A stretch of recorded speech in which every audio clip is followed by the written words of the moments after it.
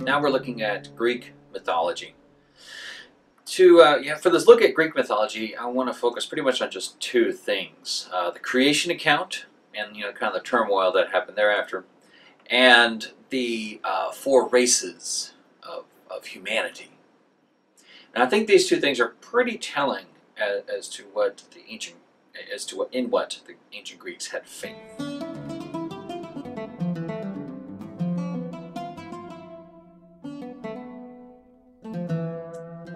So for these ancient Greeks, in the beginning, there was emptiness. Chaos is another word for it. I'm not sure exactly what we should read into this as far as the nature of this chaos, but uh, these two words are pretty telling right from the beginning. In fact, they sound a lot like something we've heard before. They sound a lot like ancient Egypt. Okay, so in the beginning, there was this emptiness, this chaos. But what came forth from the emptiness were three gods Gaia, the earth, Tartarus, the under earth, or the underworld, and uh, Eros. And Eros is love. Now, we shouldn't think necessarily like erotic, right? So, yeah, okay, so it's the same root of the word, but uh, this Eros is beauty, is the love that inspires creation. Right? This, this absolute joy that goes forth, and from this you're impelled to make. it's you know prob- maybe inspiration is maybe not even a terrible word either, but inspiration for beauty, inspiration to create. It's probably the same feeling, if you can imagine this, the same feeling that's either shared or combined uh, with both the parent and the artist. Right? The one that's inspired to create life.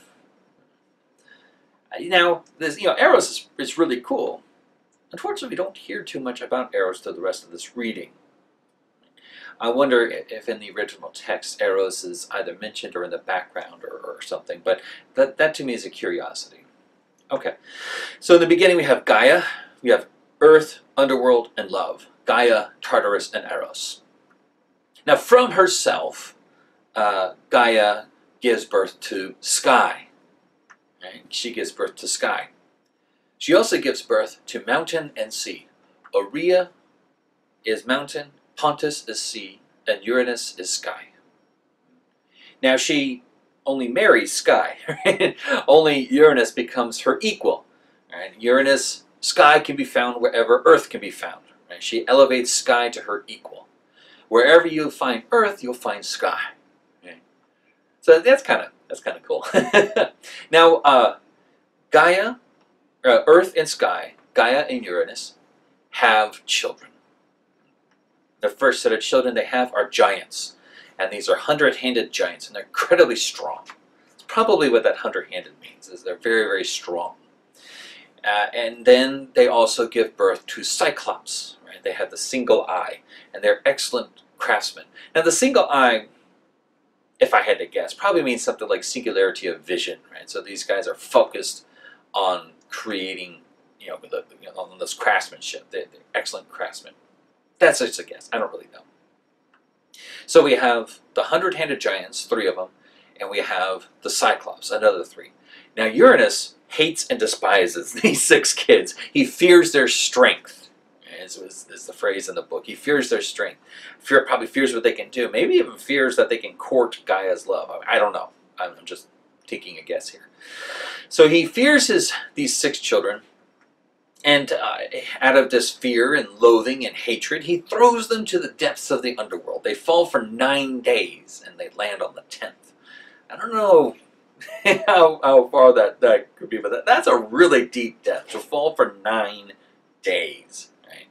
Uh, I don't know exactly how long it takes to fall from, say, the top of the Empire State Building, but I gather it's only a matter of a few minutes or, or something like that. So you can imagine how, fall, how far these uh, giants had fallen. So, you know, Gaia, understandably, is miserable about this. You know, these are her children. Right? She loves her children, regardless of their appearance. Uh, so, uh, she, you know, in the text says she buries these feelings in her heart. Right? Uh, and she has more children. Right? She loves having kids. She has more children. And this time they give birth, uh, Uranus and Gaia, they give birth to the Titans. There's 13 Titans altogether.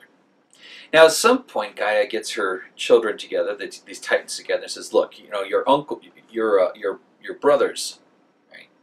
Your brothers are trapped in the bottom of Tartarus. They've been imprisoned by Uranus. Now, I can't stand this. They have to be rescued. You have to bring them home.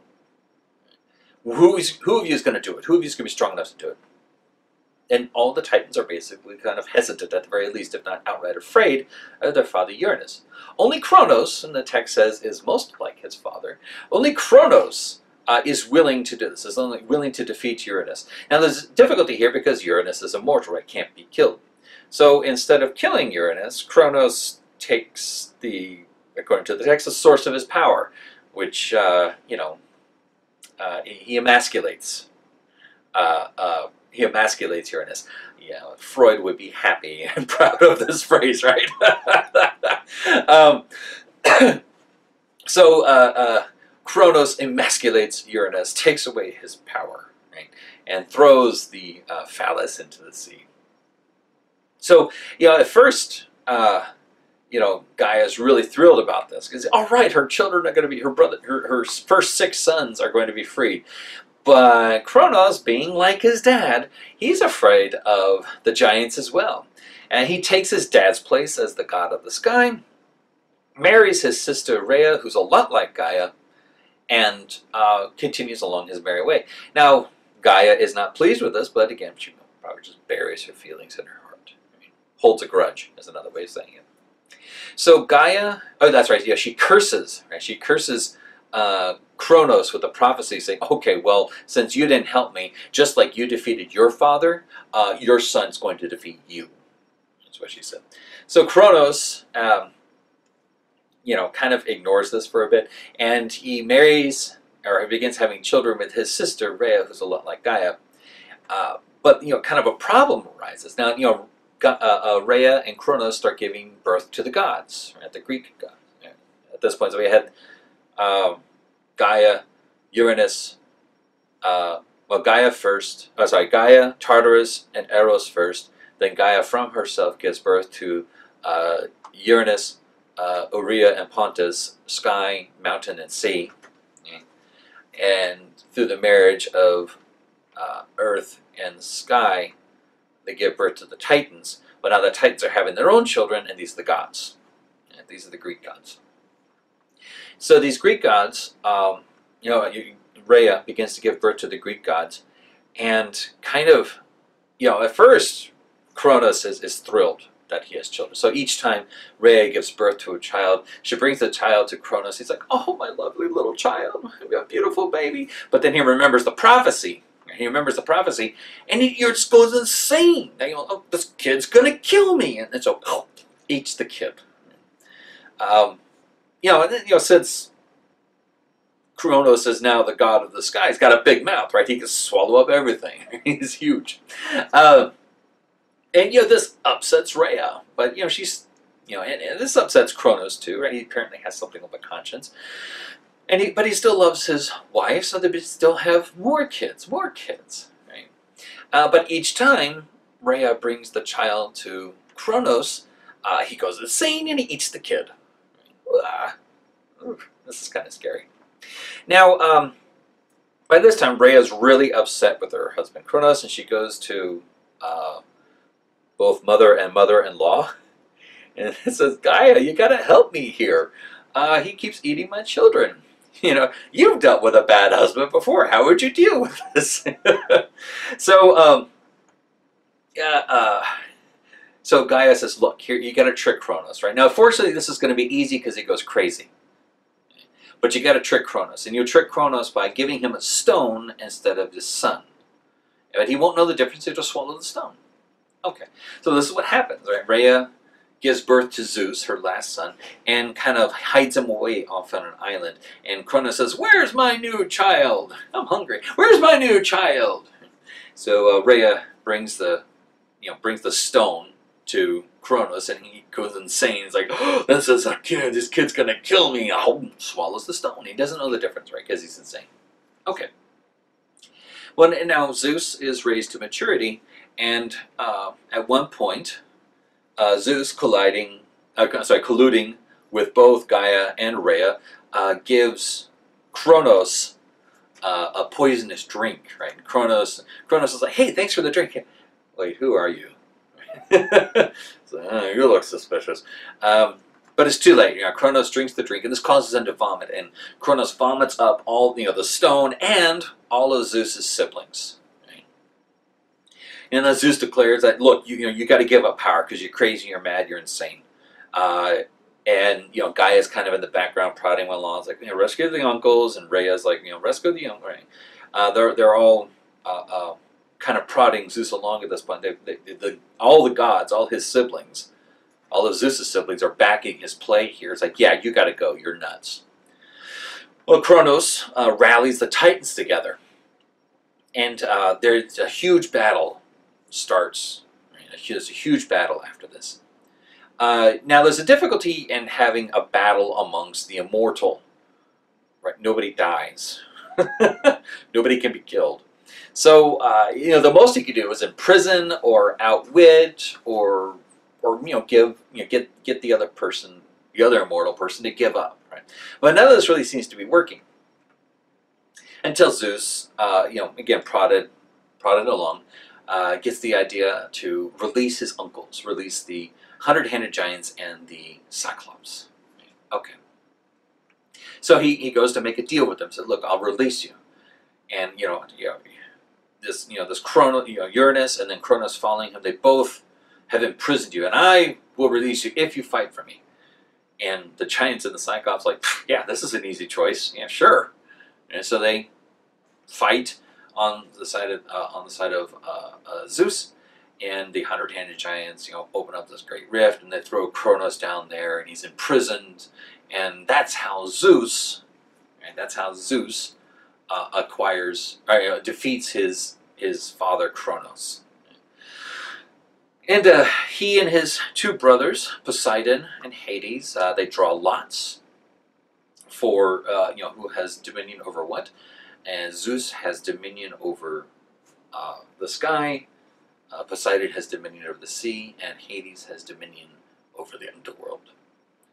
And that's the rise to power, uh, the creation of the universe and the rise to power of Zeus. Zeus teaches uh, humans, humankind, about justice and society. Uh, Poseidon teaches them about horsemanship, which is probably a, you know, maybe it's a euphemism for all the trades maybe is kind of the idea.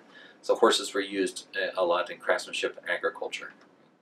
And then Hades teaches um, mankind, humankind, uh, about respect for the dead. Respect for the dead. And that, you know, again, that kind of, those are some major components to society, right? Justice, how to interact with each other, craftsmanship, how to make a living, and honoring the dead, how to remember not only who came before you, but what they did. History. Okay. Uh, so this is how the Greeks envisioned the beginning of the universe out of chaos to our society.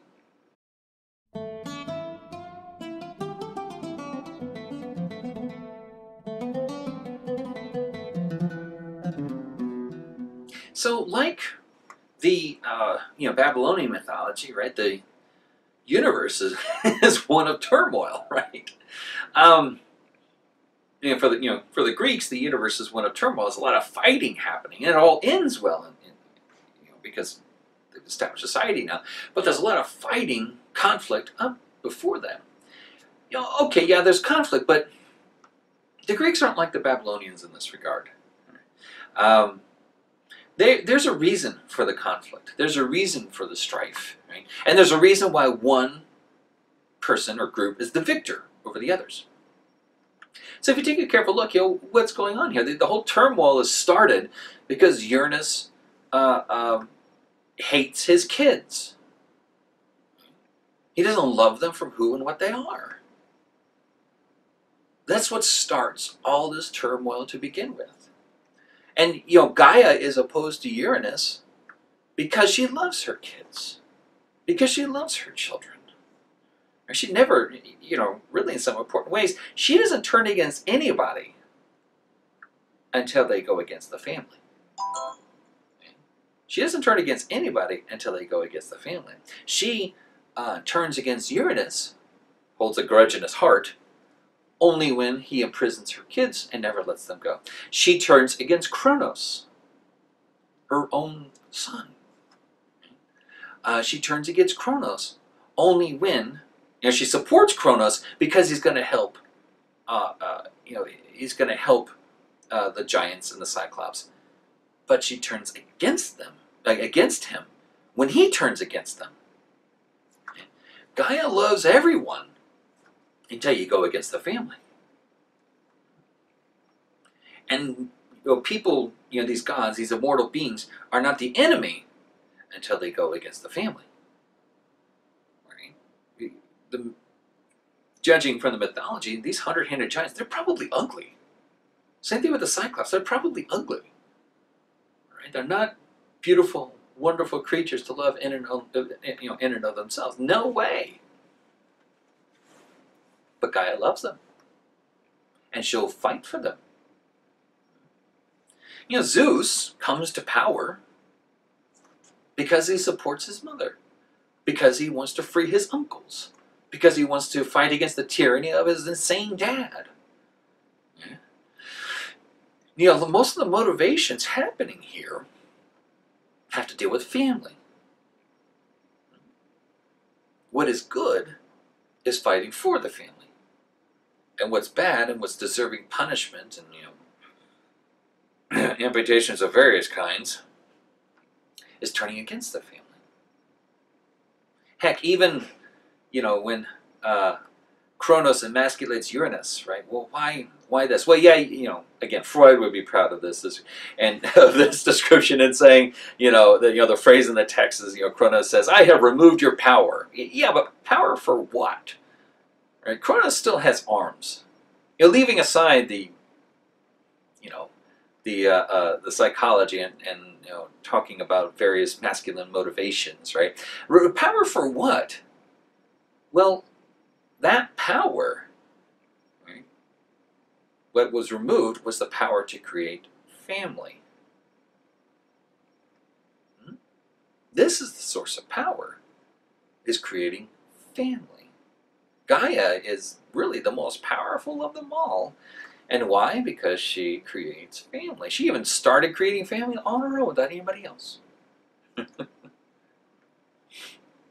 and you know, even Zeus, the uh, you know, kind of the triumvirate of the the three gods that rule over everything after all the fighting, Zeus, Poseidon, and, and Hades. Well, it's family that's in control of everything. Sky, sea, underworld. So uh, this seems to be a major motivation for these gods is family of love. It's the source of power, family of love. It's also the source, right, when you, it's the source of condemnation when you fight against the family or betray the family. You're in trouble.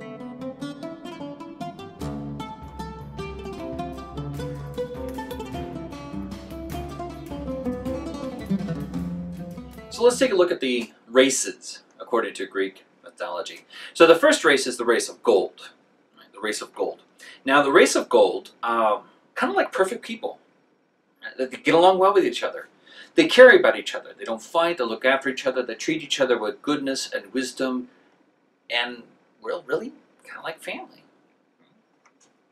They don't fight. They don't bicker. They don't have violence against each other. They look out for each other. Now this uh, race, according to the Greek mythology, they had no enemies. You know, why would they? They're nice. the weather was warm and pleasant. They could simply live off the land. Literally, they didn't have to farm. They just kind of walk out and get their sweet, wonderful foods. They didn't have to worry about uh, snow or rain, uh, intense heat, anything like this. And so they didn't even bother making shelter or clothes, right? They were just lived in blissful care because they cared about one another. They never had any enemies, uh, but they did still eventually die off. But they died in peace. They died in peace.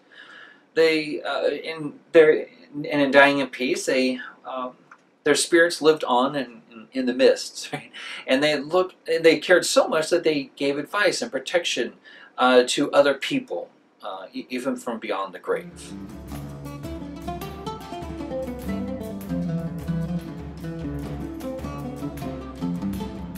Well, next we have the race of silver. Now, the race of silver were not as noble and as wonderful as the race of gold. Um, they weren't particularly violent or anything like this, but they happened to be selfish or immature. They were basically like children. Think might be fair to say. In fact, you know, one portion of the text it says that you know the children didn't really move out of their parents' houses or their parents' homes anyway. Um, they tended to just want to have things taken care of for them. They didn't want to take care of them for themselves. They didn't want to take care of people. They only wanted to be taken care of. Right? They were selfish, thinking only of their own needs and wants. So, uh, as punishment, the gods gave them harsh weather. So they had to start farming. They had to build homes, uh, and you know they kind of grew old and died.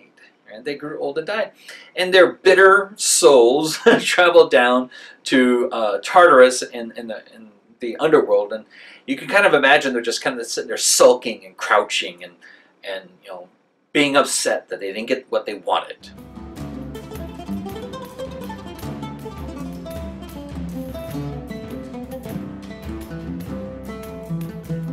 Well, now we have the race of bronze. Now, bronze uh, was used in war. It was used to make weapons. And these bronze, this race of bronze, their hearts were as hard and as bitter as uh, the bronze that they wielded. And they fought, right? They loved Ares. They didn't love love. Right? They loved conquering. They loved beating down others. And this race died off very quickly because what happens when you have 20 people in a room who want to defeat anybody and everybody else? Chances are no 20 are going to live. Right? Uh, so this race of bronze, they died off pretty quickly.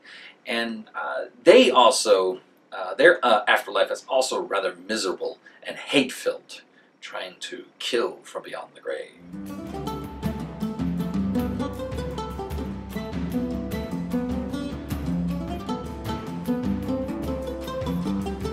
Now we have the race of heroes. The race of heroes were more noble than either silver or bronze. Uh, they fought, but they fought in defense of others. They fought for the sake of others. They were warriors. They were uh, clever. They were wise. And, uh, you know, they, they fought, and not all survived. But those that did uh, were allowed to basically go off and live on a wonderful, blessed little island, and they live in the glory of their conquests. Right? They fought on the side of good, they won, and they basically get to, to live on their lives, uh, you know, toasting themselves, you know, reliving their battles and story and song. And you know, even in this case, uh, Zeus took Cronus and made him in charge of this island, right? I imagine Cronus is in charge of nothing else, right? He made Cronus in charge of the sun and kind of in charge of the happiness of the heroes.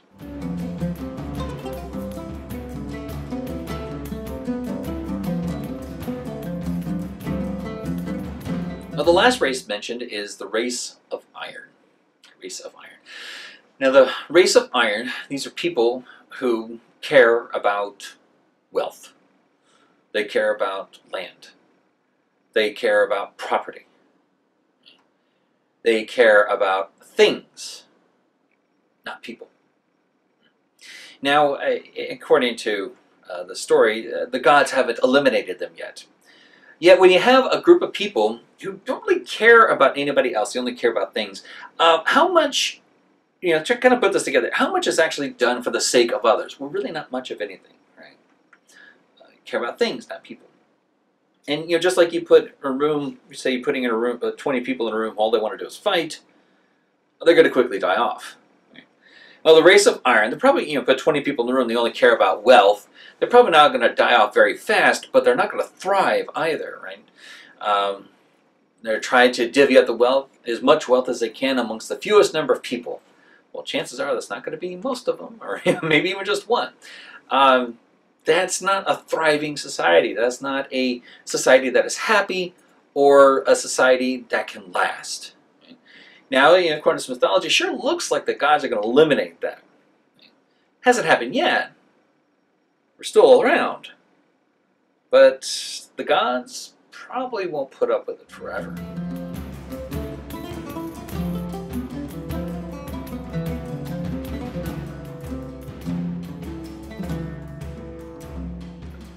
So we've taken a look at the um, at the gods, right, the creation account, and you know, kind of the turmoil there.